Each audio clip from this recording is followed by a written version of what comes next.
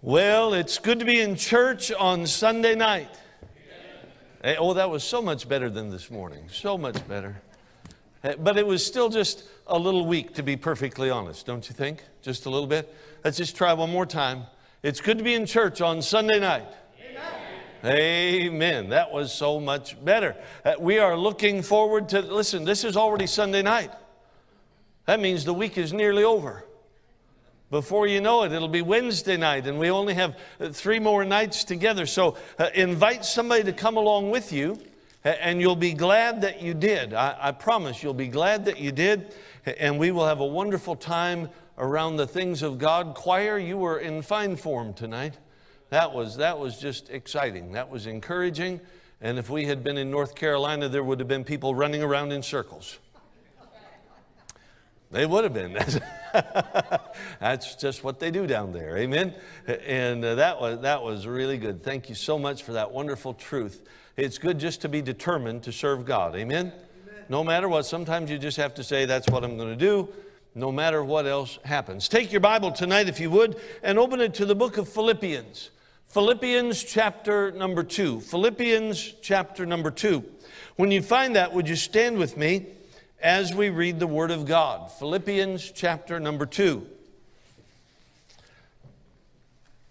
Beginning in verse number one tonight, it says, If there be therefore any consolation in Christ, if any comfort of love, if any fellowship of the Spirit, if any bowels and mercies, fulfill ye my joy, that ye be like minded, having the same love, being of one accord, of one mind. Let nothing be done through strife or vainglory, but in lowliness of mind let each esteem other better than themselves. Look not every man on his own things, but every man also on the things of others. Let's pray. Heavenly Father, thank you for the good day that you've given to us. Thank you that you are indeed good to us all the time. And Lord, tonight I pray that as we look into your word, you'll use it in our hearts and lives. God, make whatever changes need to be made. Open our, our hearts and open our ears so that we can be sensitive to your Holy Spirit. Well, thank you for all that you do. In Jesus' name, amen. You may be seated. Here in the, the book of Philippians, uh, the Apostle Paul is the human author writing specifically to the church at Philippi.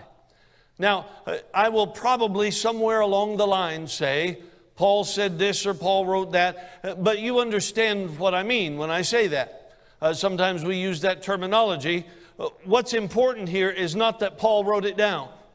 The important thing is not that Paul said it. The important thing is that God said it. And God gave him the words to write. Yes, he was the human instrument God used to put them down there, but if this was just a letter from Paul, it would only have historical significance. But this is the word of God from through the apostle Paul from God to a specific church and then God saw fit to preserve it so that it would not only affect them but it would affect us all these years down the line, and all those who've been between us and the church at Philippi, and all those who will come after. And if it was important for the church at Philippi, I promise you it's important for the church in Cleveland. It is. God saved it and preserved it there for us so that we can not just learn historical things about them, but so that He can teach us things right now about our walk with God. And so here's the church at Philippi. They are, as I mentioned to you this morning, they're a group of persecuted people. They're under the auspices of the Roman Empire. Nero is the emperor, and he's a wicked, wicked man.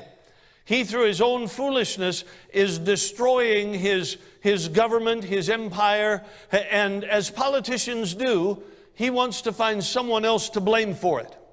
He's not going to stand up and say, I'm the one who's ruining the empire. He's got to find somebody else to blame. And the perfect, perfect object of his scorn is this group of people called Christians. Because they've made a, a, big point of standing up and saying there's only one God, and yet Nero claims he should be worshiped as a God. And they've stood up and said there's only one God, and it's not him. And so there's automatic uh, difficulty there in that situation. And so now he says, they're the reason. They're the ones. They've caused all the trouble. And so by the time we get to the book of Philippians, bad things are happening to Christians. They're being hunted down. They're being thrown into the Colosseum and beaten to death by gladiators, and they're being ripped apart by wild animals, and, and they're being taken out of their homes and slaughtered and put on pikes and covered with pitch and tar and lit on fire to light the streets of Rome at night. It's not an easy time to live. And yet, all through the little book of Philippians, you find two themes over and over. The first one is rejoicing. I mean, just rejoicing, rejoicing, rejoice, rejoice, rejoice, from the beginning to the end, rejoicing. Now that's amazing, isn't it? And not only rejoicing, but looking ahead to what God has prepared for them, because sometimes it's not till things get uncomfortable here that we remember the old song, This World Is Not My Home. I'm just passing through. My treasures are somewhere else. Amen?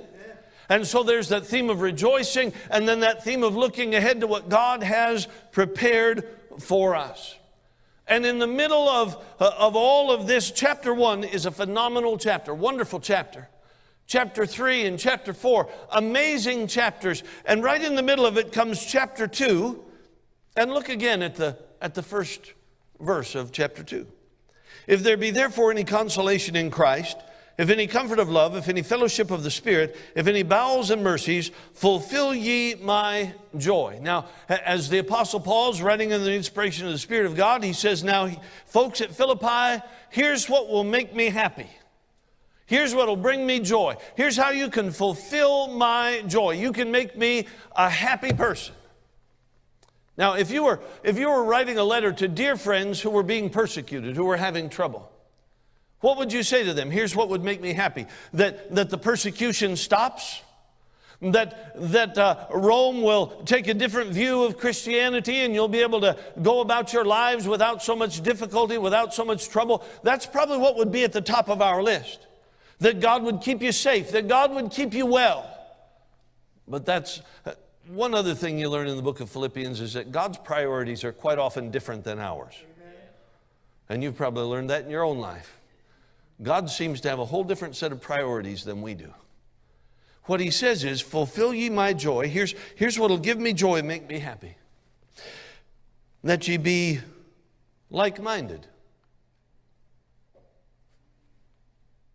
I, I would dare say, if we were making a list uh, of things that we, we desire that would make us happy when we're talking about people who are our friends who are in trouble, that probably wouldn't even make it on the list. It'd probably be way down at the bottom somewhere under all kinds of other things. And yet God puts it right at the top.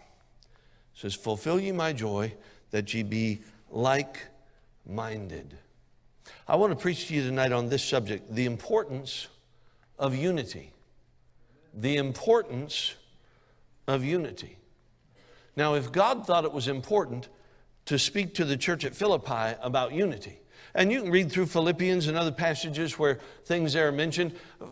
The church at Philippi is not a church that's plagued with awful trouble. Oh, they have, uh, they have a few folks that don't want to serve God, and they have a few uh, issues here and there, but they're, they're not in a terrible mess. They're doing all right, they're doing okay. And yet, God found the, the importance in saying to them, here's what you really need you need to work together in unity. Now, again, if that was true for the church at Philippi, I promise you it's true for the church at Cleveland. Amen. It's just as true today. You say, well, why would that be an issue for this group of people sitting there in Philippi? Well, I'll tell you why. Because they're just like you. They are. They're, they're just like me. You look around you tonight and you see all these people sitting here and those folks up in the balcony and you know everybody's uh, they, they've combed their hair and they've washed their face and and they put their, their tie on and they you know they're dressed up for church and and everybody looks good. But you know and I know that we are very very different. We are. I mean, here we are, all sitting in the same church. I would assume most of you probably members of this church and yet you have very, very different backgrounds. You have very, very different stories that you brought in here with you. You came from different places. Some of you came from places where there were, there were a lot of material things and wealth. Some of you came from places where there was absolutely nothing. Some of you came from one political perspective and some came from another. Some came with all kinds of education and some came with none. But we all have one wonderful thing in common we know the same Savior. And so here we are sitting in the same room with all those differences and all those different backgrounds and stories. And now you see why God would say, while you're at it, let's make sure we work together. Because the natural course of events would be that we just blow apart and we all go our different directions. And yet God says we need to work together. He says, Fulfill ye my joy that ye be like minded. I believe if you could peek in the windows at the church at Philippi, that you'd see how much like us they are, or how much like them we are. And the truth is, you probably know some of these folks. You do. You know them. Turn in your Bible, if you would, back to Acts chapter 16. Acts chapter number 16. Look, if you would, at verse number 12. The Apostle Paul is on a missionary journey, and he's coming through. And we'll pick up the narrative there in verse number 12. It says, And from thence to Philippi, which is the chief city of that part of Macedonia and a colony. And we were in that city abiding certain days. And on the Sabbath, we went out of the city by a riverside where prayer was wont to be made. And we sat down and spake unto the women which resorted thither. So here's Paul and, and his group of people traveling with him, and, and they go down there by the river on the Sabbath. And there's a group of ladies down there, and they are sincere ladies who love God. Now, notice I didn't say they're saved, they're sincere and they love God. You need to understand there are a whole lot of sincere people who have an affection for God, but they're lost and they need to know Jesus Christ. And so they meet these ladies. Look at verse 14. And a certain woman named Lydia, a seller of purple of the city of Thyatira, which worshiped God, heard us, whose heart the Lord opened, that she attended unto the things which were spoken of Paul. And when she was baptized and her household, she besought us, saying, If ye have judged me to be faithful to the Lord, come into my house and abide there. And she constrained us. She's one of those ladies down there, and, and she hears what Paul is saying. Paul takes the opportunity while these ladies are all congregated in one spot, and they love God and they're worshiping God, and he says, Let me tell you something you don't know about God this far that he sent his son, and his son died for you and paid the penalty for your sin. And you can have a relationship with him. And Lydia heard it and she listened and she said, That's exactly what I've been looking for. And Lydia gets saved and she gets baptized. And then they go back to her house and eat because they're good Baptist folks. That's, hey, that's what we do. Amen. we don't drink and smoke and that's all. We do eat though. We eat when we're happy. We eat when we're sad. If we're not sure if we're supposed to be happy or sad, we meet together and talk about it and bring finger food. That's what we do. I mean, we, if we get together, the first thing you do when you walk in the room is look for the coffee pot and the food. That's what you do. It's just because that's how we do it. Amen? Uh, it's a good Bible principle right there. That's how they did it.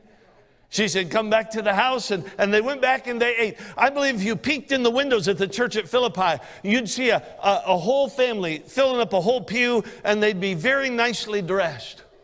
You see, Lydia is a seller of purple. And purple wasn't just a color, Purple was a status symbol. Purple was a hard color to make because you had to have just the right things, and only the wealthy people who could afford something special had purple. Royalty had purple. Very wealthy people had purple, and those are the customers of Lydia. So she's done very well for herself in her business. She's, she's well off. She does fine. Her whole family's sitting there in the pew. They're nicely dressed. They're sitting there in the church at Philippi. Isn't that exciting? There they are, the whole crew. But the story doesn't stop there. Look what happens over here in the next verse.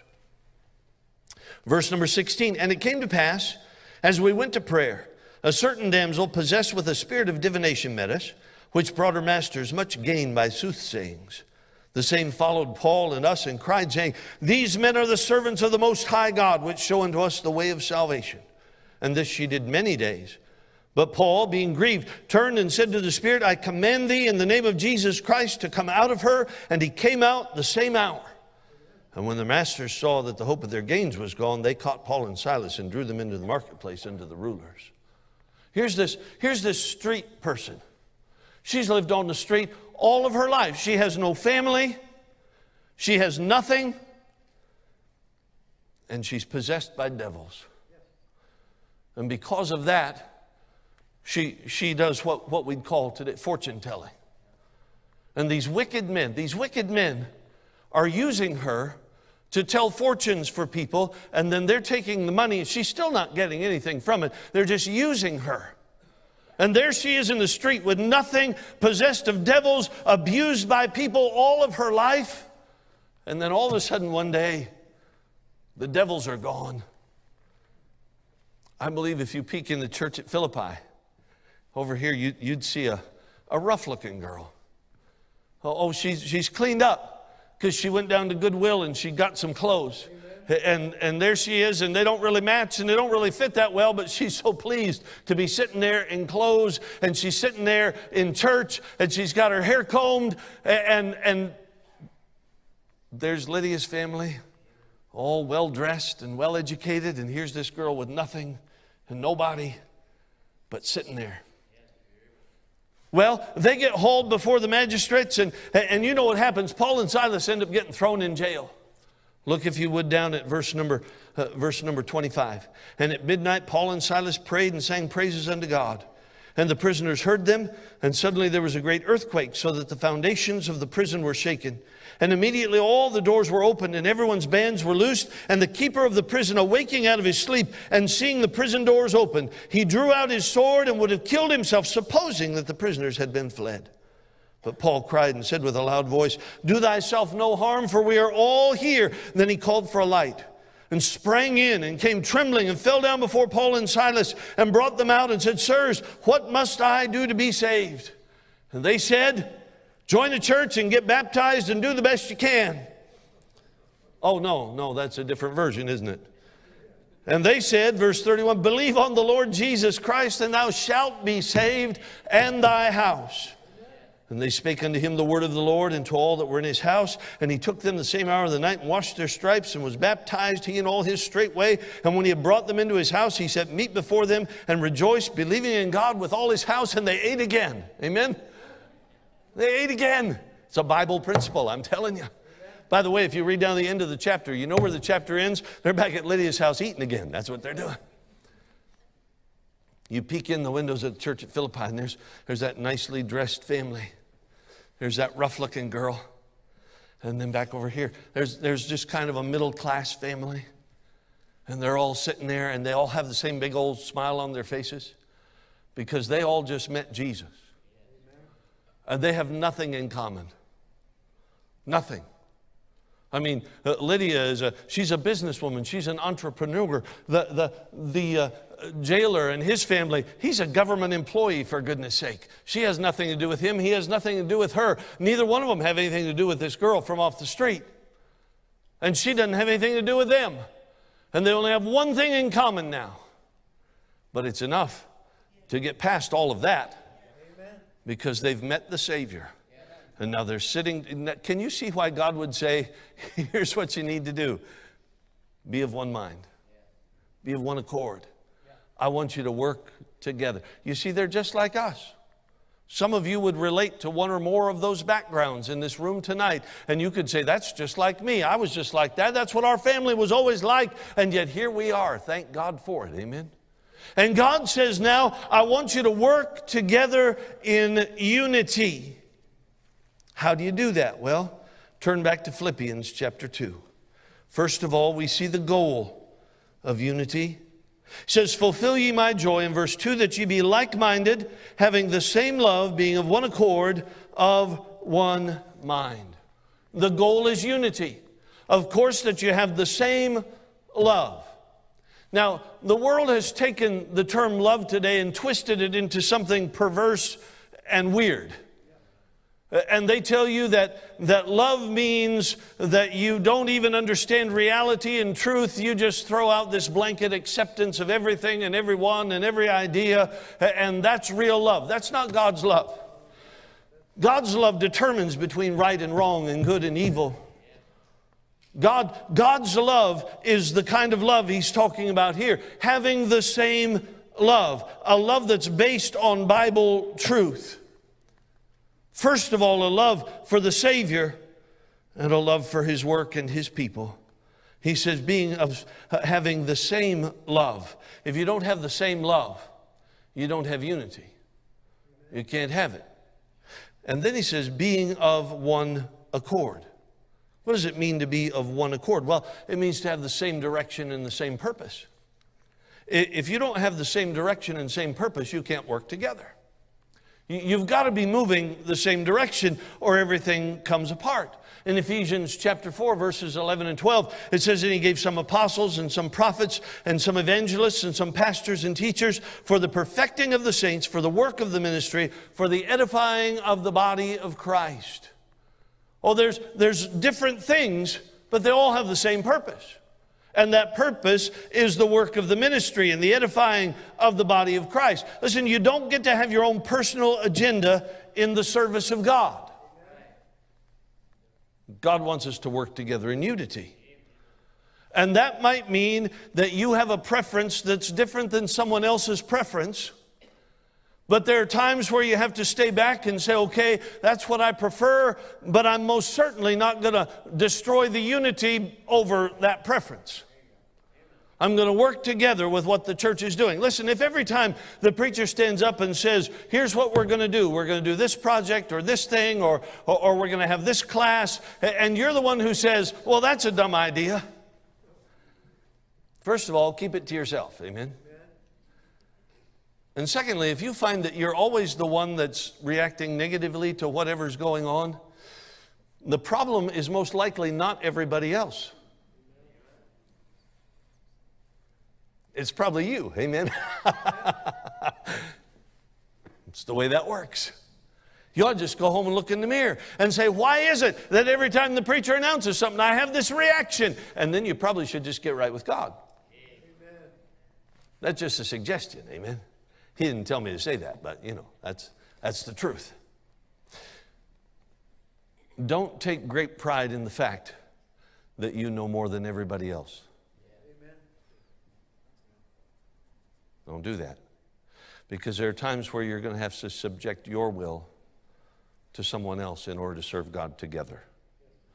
God wants us to serve Him together not all apart and separately and individually. Yes, we serve Him individually, but corporately, we need to serve Him together. One accord, of one mind. How do you have one mind? Well, you have to have the same philosophy and the same basis for truth. And the only one that'll work is that book right there. You have to go back to that and say, okay, here's why we do this because of what the Word of God has to say. And then you simply submit yourself to the Word of God. If you don't have the same basis for truth, you will never be of one mind. You simply can't be. I was talking to a man, well, now it's been a year and a half, nearly two years ago. We were out in California, and this man came to me after the service and he wanted to talk, and I knew that he was not saved. And and I thought that's what he wanted to talk about. What he really wanted to do was try to convince me that his religion was good enough.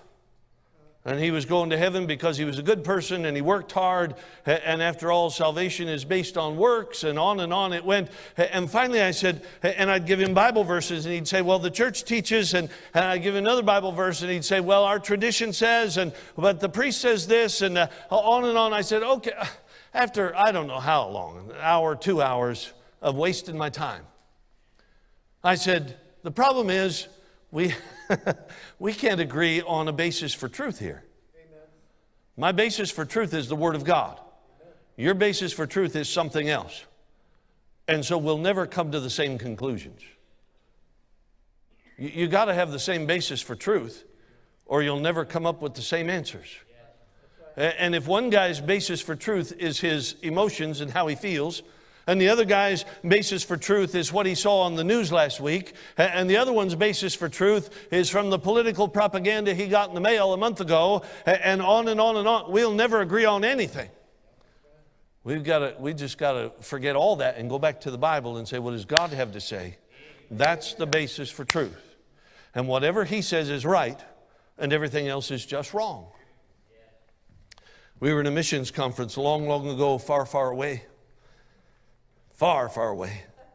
Well, I guess it wasn't that far, but it was, it was a long time ago now. And, and I, would, I would preach the message every night, and, and uh, a missionary would present their work. They would do that first, and I would preach. And then one night, we did it backwards. I preached first, and then the missionary was going to present uh, his, his ministry because there was a lady missionary who was going to talk to all the ladies downstairs. So I finished preaching that night. I sat down on the front row, and all the ladies got up and headed downstairs, except for one lady. She came in, she, she walked up, she sat down next to me on the front row. Brother Folger, that made me a little nervous because that's just not, you know, that's just not normal. And so she sat down there next to me on the front row. And she said, Brother Rogers, did I understand you to say that people who do not hear the gospel of Jesus Christ and trust Jesus Christ as Savior will die and go to hell? I said, Yes, ma'am, that's exactly what I said. She said, well, the God that I know wouldn't send people to hell just because they hadn't heard the gospel. What I wanted to say was, What God do you know? But I didn't say that. That would have been inappropriate. Instead, I said, Ma'am, do you believe the Bible? She said, Oh, yes, I believe the Bible. I said, Well, then, I recommend you go home and read Romans chapter 1. Because Romans chapter 1 will answer the question. It's not a dumb question. It's a perfectly logical question. Would God send people to hell who have never heard the gospel? It's a good question. It's such a good question. He takes a whole chapter and answers it. I said, go home and read Romans chapter 1, and it will answer your question. And she said, but I just don't think that God would do that. I said, ma'am, please go home and read Romans chapter 1. It'll answer the question. By this time, all the ladies are gone, the missionary's ready, and everybody's watching us. And, she, and then she started to cry. She's getting louder, and now she's crying. That's not fair. And, and, and she said, But I just, I, and I said, Ma'am, I, even if you don't read Romans chapter 1, just go home. Amen. I just, and I didn't say that. I wanted to. It wouldn't have been appropriate. I said, I said, please, ma'am, just really, if, if you just go home read Romans chapter 1, it'll answer your question. And she got up, headed down the aisle, and everybody's watching. And the, the lady missionary saw what was going on, and she had stayed in the back instead of going downstairs. And she caught her and talked to her in the back a little bit. You, you know what that woman's problem was? It wasn't that she was an evil, wicked person, it's that she didn't submit herself to that as the basis for truth. Her basis for truth was what she felt and her emotions. And if your emotions are your basis for truth, you don't have any truth because it'll change from day to day. It'll come and it'll go, but this never does. You can make that your foundation and your basis for truth. And if we all do that, we can be of one mind because we'll have the same basis and the same philosophy. He said, being of one accord and of one mind. That's the goal. But then he gives us the hindrances to unity. Look, if you would, at verse number three. Here's how you get rid of it Here's how you do away with unity altogether. Let nothing be done through strife or vainglory. You, you want to you wanna get rid of unity? You allow strife and vainglory to come on the scene. Strife. You know, always, always just fighting and fussing and demanding your own way. I remember as a little kid sitting in the, the church I got saved in, and, and it was a little of a, a little different stripe. And, and they, they had business meetings every month. I mean, like clockwork. Business meetings every month. That's a tragic mistake because things can go bad real fast. And I remember sitting there as a little kid in that church, seeing my Sunday school teacher, who I respected immensely, stand up and say awful things to my pastor who I respected immensely. And the deacon get up and, and say horrible things about the preacher and, on. And I, I sat there and watched that in those reprehensible business meetings. And it's only the grace of God that I'm still in church today. Amen. I promise you, there are people who are not, who sit through that kind of garbage, who just wash their hands of the whole mess and walk away. What was the problem? Strife. Strife. They ended up booting out the preacher, and I'll be honest with you, he never did a single thing wrong. It's just that it was a personality thing. And they didn't like his laid back style of what he did. And, and it was just wicked. Wicked and vile is what it was. Strife. You want to destroy unity? You want to ruin what God's trying to do in Cleveland, Ohio? Well, then you just let strife make its way in. then it says in vainglory. Really, that's just pride. That's what that is. When you stand up and say, uh, I know better than they do, and I'm going to have it my way, and if I don't get it, there's going to be trouble. Don't ever be that guy. Don't do that. They're, they're going to put in new carpet. It's going to be the carpet I want, or they'll put it in over my dead body. I think it's a good plan. Put it in over the dead body. There'll be a lump there for a few months, but if you stomp on it every time you go by, pretty soon it'll go down. Ponder that for a minute. Listen, if you find yourself, none of us are, are impervious to that. We all feel that rise up in us somewhere along the line at some point. But when it does, you better shove it back down and say, God, get that wickedness out of my life. Get that vainglory and that pride out of here because that's going to ruin what God is trying to do. Why in the world would you ruin the work of God over the color of carpet? Or over the lights that are hanging in the building, or over the color you paint the wall, or, well, I like this pulpit, and if they ever change that pulpit, I'm out of here. Well, then shame on you. Shame on you. That's nothing but pride. Vainglory. You, you want to ruin what God's doing? Just allow that to come into your, into your church. And it'll absolutely destroy it. The hindrances to unity. See, it's important to God, but it's easy. Easy to destroy. But then he gives us the means of unity. Here's how you accomplish it. Look, if you would, verse 3. Let nothing be done through strife or vainglory, but in lowliness of mind, let each esteem other better than themselves. That's how you do it. Now, remember, this is, this is a letter being given by God through the Apostle Paul to a very specific group of people, the church at Philippi. I mean, they know who they are when, when these words are being read and they gather together, and whoever gets to read it out loud is standing up in front and reading it and saying, Let nothing be done through strife or vainglory. I promise you, there are people looking around saying, I know who he's talking about. Yep, I, I know who it is. Because it's going to a very specific group of people. If somebody wrote a letter like that to you and your pastor stood up and read it next Sunday and it said, you know, we had such a wonderful time there at Cleveland and, and so and so was so kind and, and then we ran into somebody who said this, nobody'd have to tell you who it was. You would know who it was. It's the person who says that to everybody. So they know who's, who's being mentioned here. They know, we don't, but they know. And they're thinking, mm hmm, I, I know who it is. And then he gets down there and says, Let each esteem other better than themselves. They still know who he's talking about. Because this is not, a, as when they're reading it, this is not a letter to people thousands of years ago. This is a letter to them from God. And so,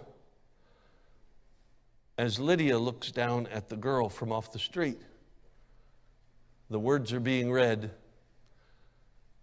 and it says, In lowliness of mind, let each esteem other better than themselves. God is very literally saying, Lydia, don't forget, she's better than you are. That's what's said right there. And that girl who's sitting there, who's always been a little bitter at the jailer and his family because she spent most of her life in and out of his jail. And he was never very nice to her because she was nothing but trouble. God is saying to her, Don't forget, girl from off the street. The jailer back there, he's, he's, he's better than you.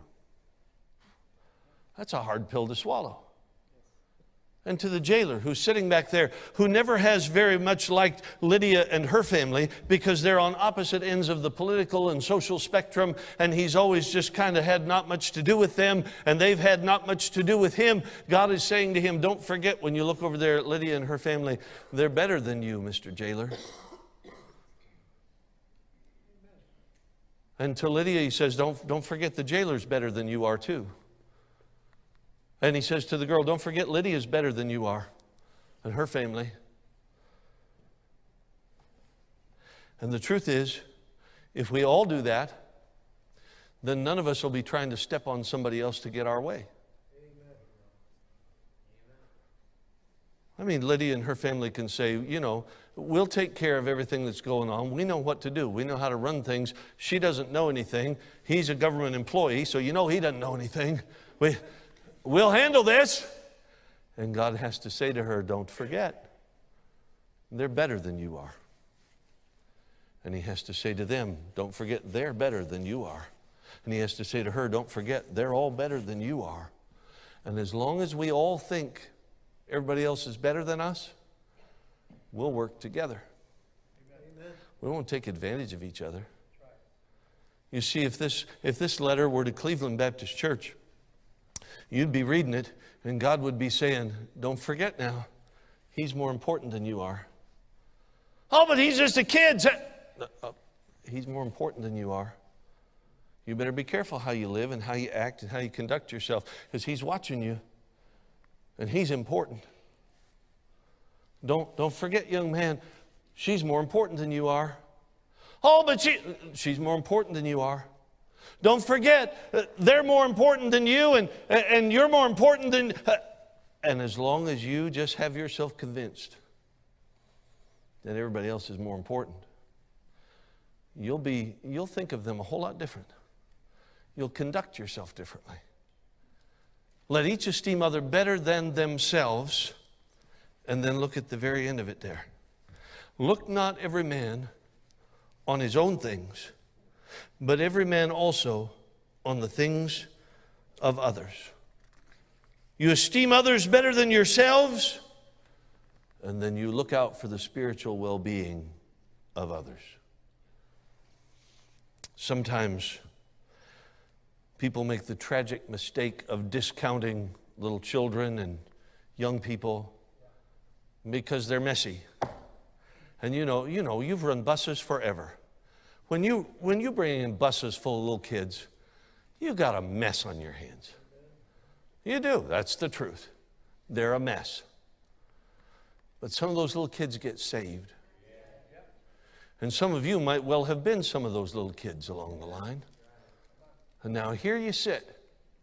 And I promise you, there are people on mission fields and standing behind pulpits tonight who were one day little snotty nosed kids that somebody brought to Sunday school somewhere and somebody gave them the gospel and they got saved and their life was changed.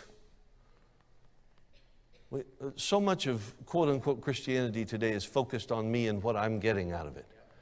And I need this and I need that and I want this and I want. What a wicked perspective.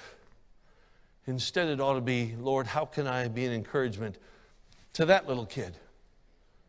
Because who knows but what that little kid might one day end up on a mission field preaching the gospel to people I'll never meet.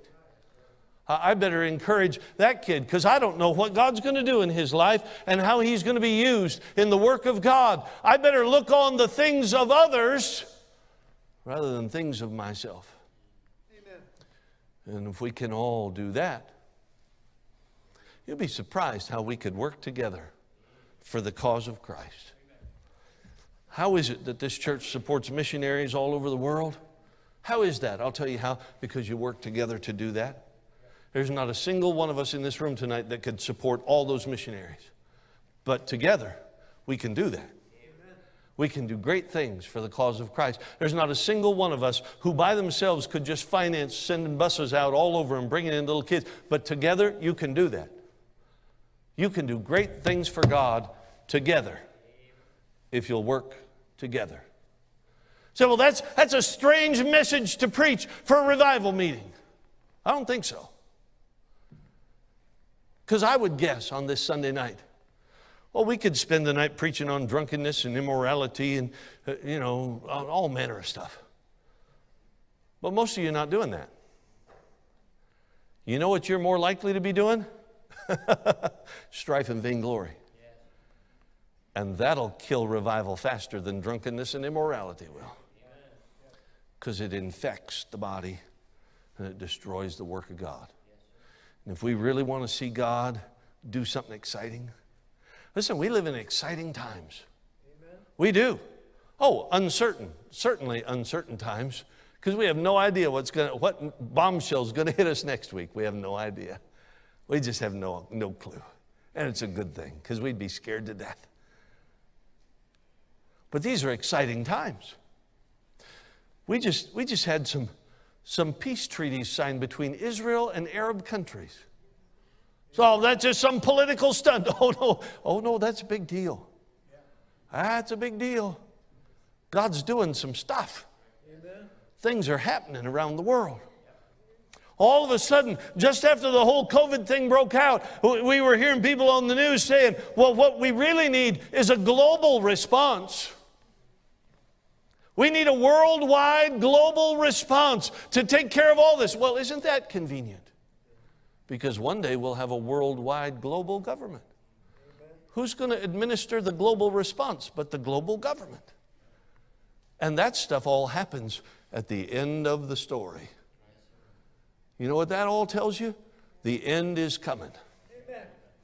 You remember, I remember when I was a kid, you'd see people uh, out pictures of them on the, on the street corner. The end is near. Oh, they had no idea. The end is near. Amen? And it just might be that God would allow us to see some people saved before the whole thing is out. That'd be just like God to do that, don't you think? That He'd allow a whole bunch of folks to get saved before it all, all winds down. I, I, I wouldn't be a bit surprised if God would do that. I'd sure want to be ready to be part of that, wouldn't you? That means we got to work together in unity. This is not the time to go your own way and, and leave the church and split. And, uh, this is not the time for that. This is the time to jump in together and see what God can do with you in the short time we have remaining. Because someday the trumpet's going to blow. It'll blow. And you won't have to worry about whether the snotty nosed bus kids messed up the carpet or not.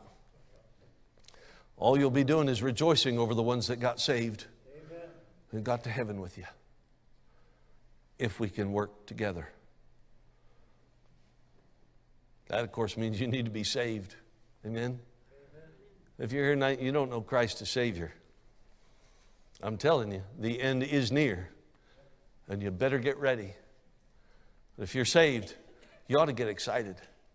Say, God, how are you going to use me in these last few years to do something great and stand for the Lord Jesus Christ in a wicked, wicked world? But we have to do it together. Let's stand together and pray. Heavenly Father, thank you that we could be here tonight. Thank you for your goodness to us and your mercy.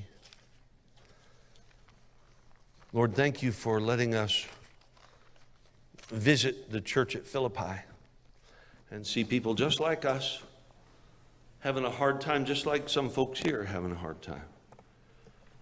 Folks who are a little nervous about the future, not sure what's going on. And yet you told them to rejoice. You told them to look ahead to what you have waiting. And you told them to be like minded. God, if that was important for them, oh, how important is it for us today? Help us to be like minded so that we can do everything for you that we need to do in these last days.